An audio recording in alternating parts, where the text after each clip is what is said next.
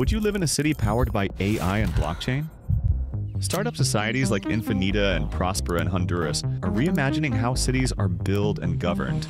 People have to dig deeper to understand the reality of what we're doing because it's potentially a once in a lifetime opportunity. This is governance reinvented for the internet era. Now we're bringing this movement to Brazil.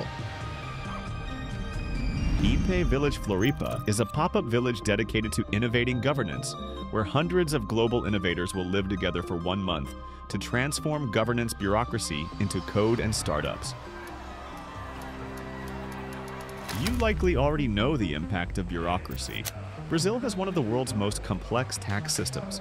Businesses spend 1,500 hours per year complying with tax regulations. Citizens spend over 150 days working just to pay taxes. That's the bad news. But there are good ones. Brazil has enormous potential as a hub for internet native cities. At least 40 million Brazilians own crypto. 144 million use social media. WhatsApp reaches over 95% of the population.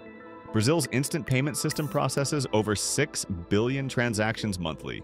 Nubank, a Brazilian unicorn, is the world's largest digital bank serving 92 million.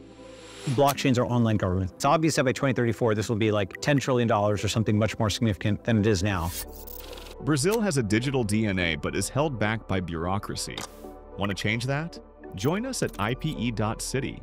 Let's build a thriving society with advanced governance, education, healthcare, and finance, powered by innovators like you.